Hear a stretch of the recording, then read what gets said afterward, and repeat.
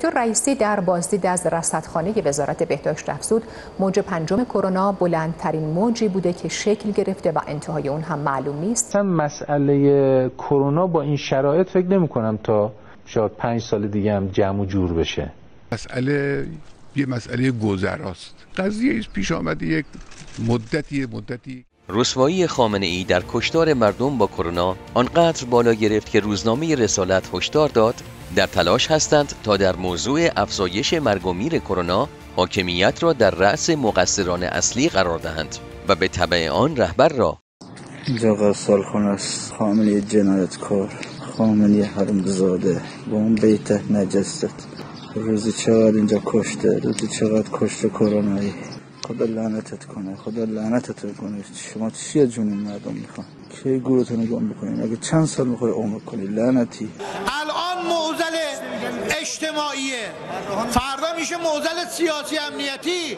روزنامه رسالت ضمن اعتراف به خطر خشم مردم نسبت به خامنه ای نوشت ناکارآمد نشان دادن دولت و حاکمیت در کنترل کرونا حربه است که در صورت تداوم می‌تواند خطرناک باشد. یه افراد اومدن تست کرونا بدن. اگه خدای نکرده نداشته باشن هم حتما موفق باشن که کرونا بگیرن. لعنت و هرچه آخود دولت داره دروغ حرف می‌زنه. مردم رو داره علنا داره می‌کشه. قرار بود واکسن برای مردم بیارن واکسن نیاوردن.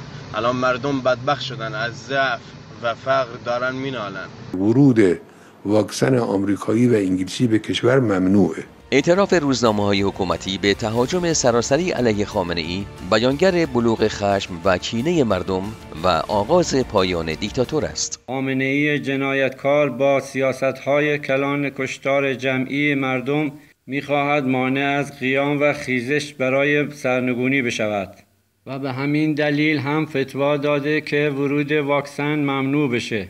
خامنه ای باید به این دلیل محاکمه بشه کرونا هرگز مانع از سرنگونی نظام پلید آخوندی نخواهد شد.